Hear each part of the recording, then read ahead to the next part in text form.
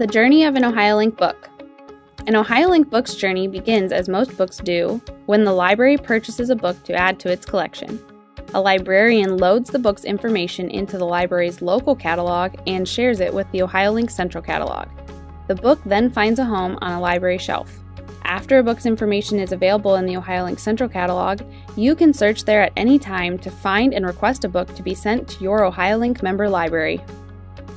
Once your request is received, the book's home library finds and pulls it off the shelf. Your book is then placed in an OhioLink bag, along with any other books requested at that time. OhioLink's courier then picks up the bags and transports them to a regional sorting center.